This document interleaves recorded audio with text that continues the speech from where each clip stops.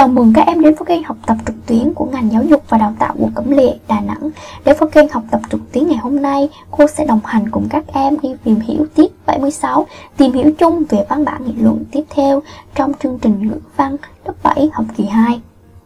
Cô xin được giới thiệu, cô là Trần Thị Ngọc Thùy, là giáo viên của trường trung học cơ sở Nguyễn Văn Linh, Cẩm Lệ, Đà Nẵng.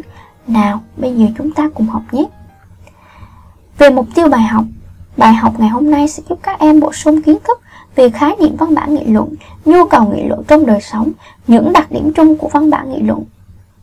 Về kỹ năng sẽ giúp các em nhận biết văn bản nghị luận khi đọc sách báo, chuẩn bị để tiếp tục tìm hiểu sâu, kỹ hơn về kiểu văn bản này. Về cấu trúc bài học, ở tiết trước, các em đã được học phần 1 nhu cầu nghị luận và văn bản nghị luận thông qua hai mục nhỏ nhu cầu nghị luận trong đời sống và thế nào là văn bản nghị luận. Thì ở tiết này chúng ta sẽ cùng nhau đi vào phần 2 luyện tập làm những bài tập để củng cố kiến thức và giúp các em hiểu rõ hơn về nhu cầu nghị luận và văn bản nghị luận nhé. Đầu tiên chúng ta sẽ cùng nhau khởi động bằng một câu hỏi nhỏ. Hãy điền vào chỗ trống các kiểu văn bản phù hợp.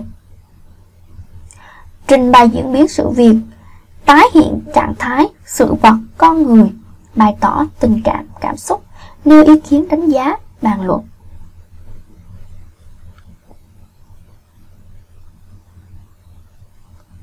Dựa vào kiến thức các em đã học về các kiểu văn bản thì các em sẽ thấy văn bản trình bày diễn biến sự việc đó chính là văn bản từ sự. Tái hiện trạng thái sự vật con người thì phải dùng văn bản miêu tả để có thể bày tỏ tình cảm, cảm xúc thì chúng ta dùng văn bản biểu cảm và còn lại văn bản nào nếu ý kiến đánh giá bàn luận. À, đó chính là văn bản nghị luận. Bây giờ chúng ta sẽ cùng nhau ôn lại kiến thức cũ. Các em thân mến, một văn bản thuộc thể văn nghị luận bao giờ cũng thể hiện một số khía cạnh. Thứ nhất là về mặt nội dung, nó phải bàn bạc về các vấn đề thiết yếu được mọi người quan tâm, tranh luận. Thứ hai, về mặt mục đích, nó phải hướng tới một hoặc là nhiều đối tượng nhằm bàn luận, giải đáp những băn khoăn, nhằm sáng tỏ chân lý, đồng thời thuyết phục người đọc, người nghe.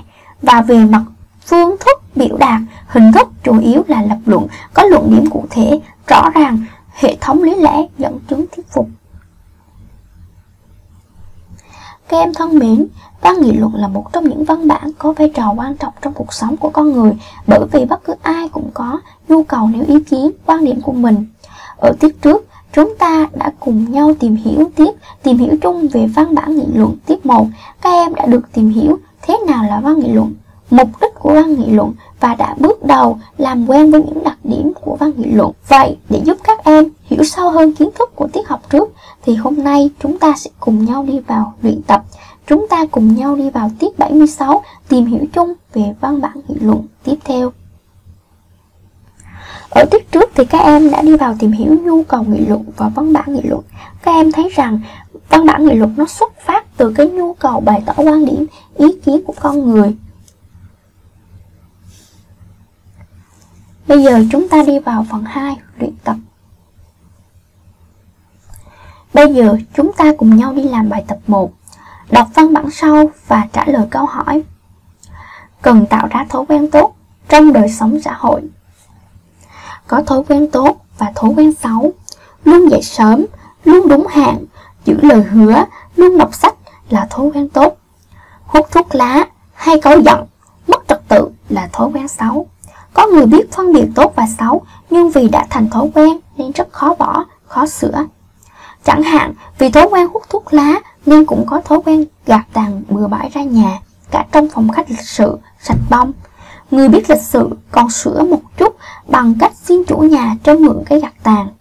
Một thói quen xấu ta thường gặp hàng ngày ở bất cứ đâu là thói quen vứt rác bừa bãi, ăn chuối xong cứ tiện tay vứt tẹt ngay cái vỏ ra cửa, ra đường. Thói quen này thành tệ nạn.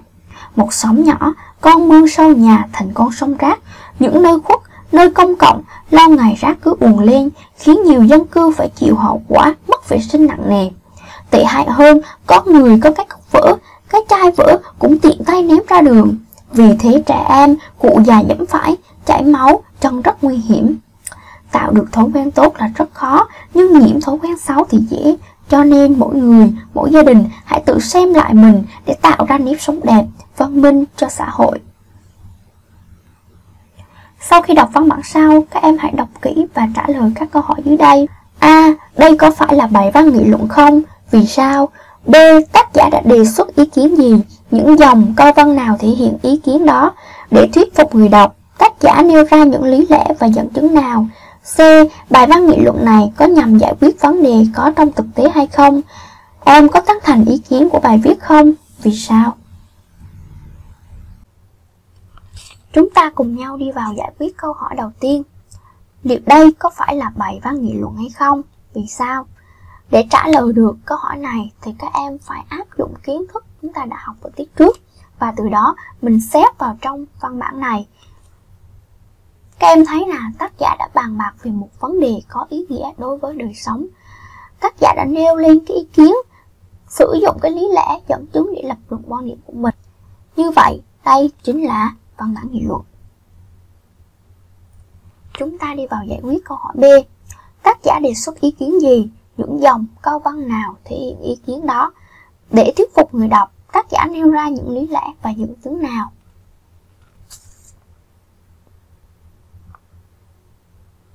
Chúng ta lần lượt đi giải quyết từng câu hỏi. Đầu tiên, tác giả đề xuất ý kiến gì? Tác giả đã đưa ra cái ý kiến là phân biệt thói quen tốt và thói quen xấu. Từ đó, phải tạo thói quen tốt và khắc phục thói quen xấu. Để thể hiện ý kiến của mình thì tác giả đã ghi ra những dòng câu văn sau. Có thói quen tốt và thói quen xấu. Có câu, có người biết phân biệt tốt và xấu nhưng vì đã thành thói quen nên rất khó bỏ, khó sửa. Thói quen này thành tệ nạn. Tạo được thói quen tốt là rất khó, nhưng nhiễm thói quen xấu thì dễ. Cho nên, mỗi người, mỗi gia đình hãy tự xem lại mình để tạo ra nếp sống đẹp, văn minh cho xã hội. Đó là những câu văn thể hiện cái quan điểm của tác giả là phải phân biệt thói quen tốt và thói quen xấu. Từ đó mình tạo thói quen tốt để khắc phục được những thói quen xấu. Để thuyết phục được người đọc, tác giả không chỉ giải thích, dùng lý lẽ mà đưa ra những dẫn chứng rất là sinh động. Chẳng hạn, gạt tàn thuốc lá bừa bãi, vứt vỏ chuối ra đường, rác ùn lên cả con mương nhỏ, ném chai, cốc vỡ ra đường. Các em hãy chú ý cách mà tác giả thuyết phục người đọc. Tác giả đã giải thích, dùng lý lẽ và đưa ra những dẫn chứng sinh động.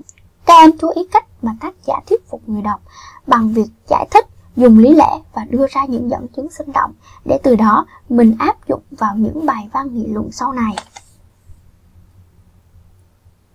Hệ thống luận điểm của văn bản cần tạo ra thói quen tốt trong đời sống xã hội như sau. Các em chú ý sơ đồ trên. Tác giả đã đưa ra những lý lẽ rất là thuyết phục. Đó chính là có thói quen tốt và thói quen xấu. Có người biết phân biệt tốt, xấu nhưng việc thành thói quen nên khó bỏ, khó sửa. Tạo được thói quen tốt là rất khó, nhưng nhiễm thói quen xấu thì dễ.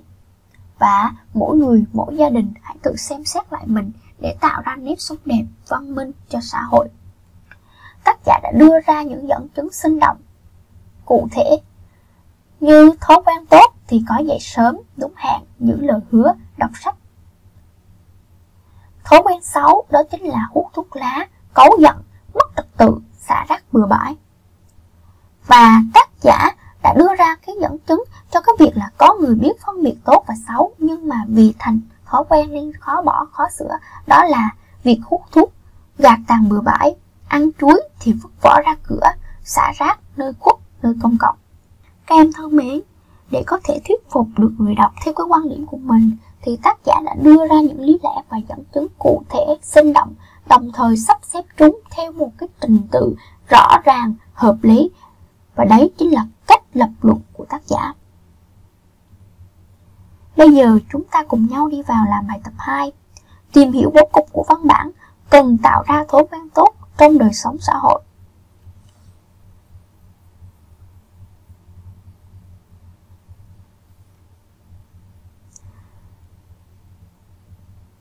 Các em thấy bố cục của văn bản này tác giả cũng chia làm 3 phần.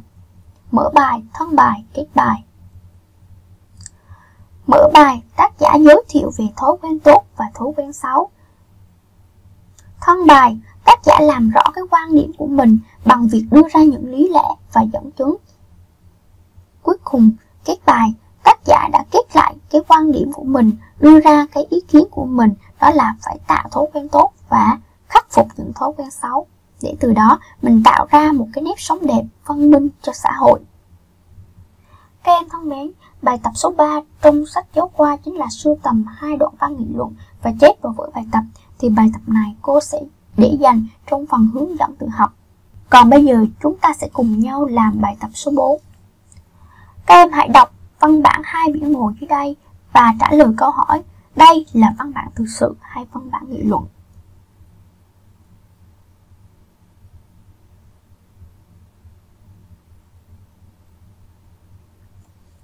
Bây giờ chúng ta cùng nhau đọc văn bản. Người ta bảo ở bên Palestine có hai biển hồ. Biển hồ thứ nhất gọi là biển chết. Đúng như tên gọi, không có sự sống nào bên trong cũng như xung quanh biển hồ này. Nước trong hồ không có một loại cá nào có thể sống nổi. Ai ai cũng đều không muốn sống gần đó. Biển hồ thứ hai là Galilee. Đây là biển hồ thu hút nhiều khách du lịch nhất. Nước ở biển hồ lúc nào cũng trong xanh, mắt rượi, người có thể uống được mà cá cũng sống được. Nhà cửa được xây cất rất là nhiều ở nơi đây, vườn cây xung quanh tốt tươi nhờ nguồn nước này. Nhưng điều kỳ lạ là cả hai bên biển hồ này đều được đón nhận nguồn nước từ sông Dốc Tăng. Nước sông Dốc Tăng chảy vào biển chết, biển chết đón nhận và giữ riêng cho mình mà không chia sẻ nên nước trong biển chết trở nên mặn chát. Biển hồ Galilee cũng đón nhận nguồn nước từ sông dốc đăng, rồi từ đó tràn ra các hồ nhỏ và sông lạch. Nhờ vậy, nước trong hồ này luôn sạch và mang lại sự sống cho cây cối, muôn thú, con người. Một định lý trong cuộc sống mà ai cũng đồng tình, một ánh lửa sẽ chia là một ánh lửa lan tỏa, một đồng tiền kinh doanh là một đồng tiền sinh lợi. Đôi môi có hé mở mới thu nhận được nụ cười, bàn tay có mở rộng trao ban, tâm hồn mới tràn ngập vui sướng. Thật bất hạnh cho ai cả. Cuộc đời chỉ biết giữ riêng cho mình. Sự sống trong họ rồi cũng sẽ chết dần, chết mòn như nước trong lòng bị chết.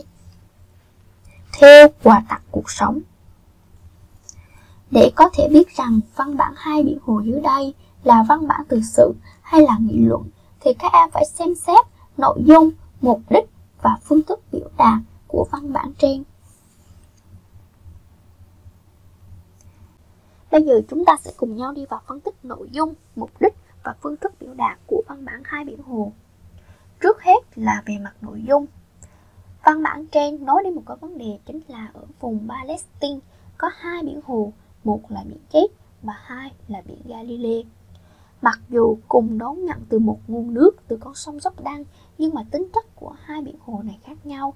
Thứ nhất, biển chết. Sở dĩ có tên gọi là biển chết bởi vì không có một sự sống nào tồn tại trong biển này. Bởi vì sao? Bởi vì biển chết không chia sẻ nước cho bất kỳ nơi nào nên nước bên trong mặn chát trong khi đó, biển hồ Galilee thì lại khác. Khi đón nhận nguồn nước từ con sông dốc đang về, thì biển hồ Galilee sẽ tràn qua các hồ nhỏ và sông lệch. nhờ đó mà sự sống bên trong hồ, trù phú, tươi tốt và qua cái việc chia sẻ nguồn nước thì nước bên trong hồ cũng trong sạch.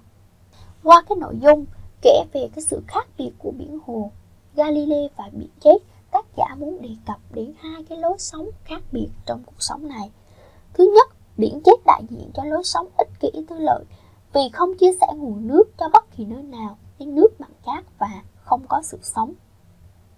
Trong khi đó, biển hồ Galilee luôn sẽ chia nước, cho nên là lúc nào sự sống cũng trù phú, tốt tươi và biển hồ Galilee tượng trưng cho cái lối sống sẻ chia, yêu thương và cảm thông. Mục đích của văn bản này là khẳng định một quan niệm sống sâu sắc, đúng đắn, nói đến cái vấn đề trong cuộc sống. Sống là phải luôn chia sẻ, luôn yêu thương với mọi người, không được ích kỷ và không được tư lợi. Và các em thấy, để có thể thể hiện được nội dung và mục đích của văn bản trên thì tác giả đã lập luận rất là chặt chẽ, đưa ra những cái lý lẽ và dẫn chứng rất là thuyết phục để từ đó đúc kết lại một cái vấn đề một cái quan niệm trong cuộc sống chính vì uh, điều này mà chúng ta có thể khẳng định được là văn bản trên chính là văn bản nghị luận sử dụng cái hình thức tự sự để nghị luận Ở đây tác giả đã kể câu chuyện về biển chết và biển hồ Galilee để nói đến một cái quan niệm trong cuộc sống. Và các em thấy, việc sử dụng hình thức tự sự để nghị luận đã làm tăng thêm sức thuyết phục và sự hấp dẫn cho văn bản. Sau khi làm các bài tập trong sách giáo khoa thì chúng ta hãy cùng nhau làm một bài tập củng cố. Yêu cầu của bài tập này là em hãy điền từ ngữ thích hợp vào chỗ trống sau để hoàn thành khái niệm văn nghị luận. Trong đời sống, ta thường gặp văn nghị luận dưới dạng các 3 chấm nêu ra trong cuộc họp các bài xã luận, bình luận, bài phát biểu ý kiến trên báo chí. Văn nghị luận là văn được viết ra nhằm xác lập cho người đọc, người nghe một tư tưởng, ba chấm nào đó. Muốn thế, văn nghị luận phải có ba chấm rõ ràng, có lý lẽ, dẫn chứng thuyết phục. Những tư tưởng, quan điểm trong bài văn, ba chấm phải hướng tới giải quyết những vấn đề đặt ra trong đời sống thì mới có ý nghĩa. Ở đây có bốn từ được đưa ra chính là quan điểm, ý kiến, nghị luận và luận điểm. Các em hãy sắp xếp những từ ngữ này vào những cái chỗ trống trên cho phù hợp. Ở đây có các từ được đưa ra đó là quan điểm, ý kiến, nghị luận và luận điểm. Các em hãy sắp xếp các từ này vào các chỗ trống sao cho phù hợp.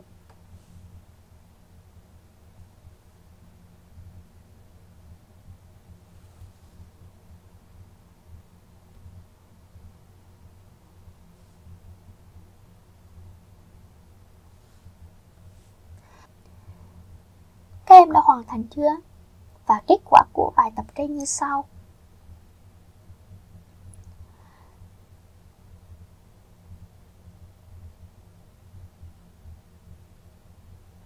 Trong đời sống, ta thường gặp văn nghị luận dưới dạng ý kiến, nêu ra trong cuộc họp, các bài xã luận, bình luận, bài phát biểu ý kiến trên báo chí.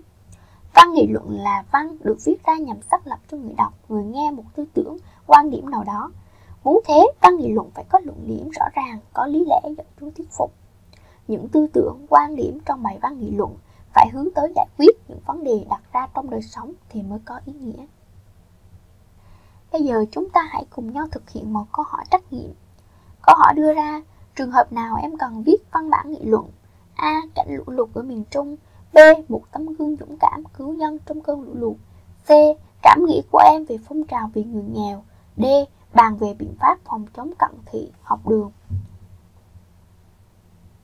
Em hãy chọn đáp án mà em cho là chính xác nhất. Trường hợp nào em cần viết văn bản nghị luận?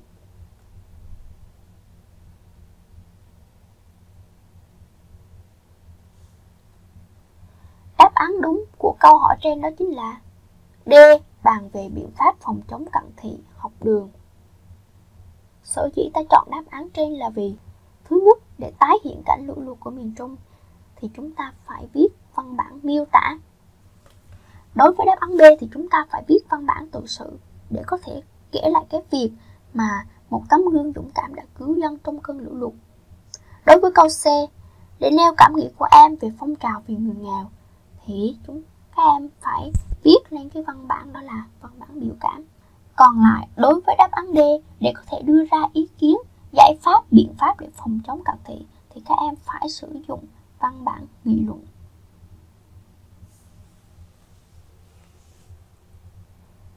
Như vậy thì chúng ta đã hoàn thành các bài tập trong sách giáo khoa để có thể củng cố lại kiến thức của mình thì các em hãy thực hiện các nhiệm vụ sau. Đầu tiên các em học bài, nắm vững kiến thức đã học, xem lại các bài tập đã làm. Thực hiện các bài tập về nhà, sưu tầm đoạn văn nghị luận đó là bài tập 3 trong sách giáo khoa. Các em chuẩn bị bài mới, rút gọn câu, tìm hiểu các mục 1, 2, trang 14, 15 sách giáo khoa ngữ văn lớp 7 tập 2, tập đặt câu rút gọn. Làm thử các bài tập ở phần 3, luyện tập trang 16, 17, 18 sách bài tập.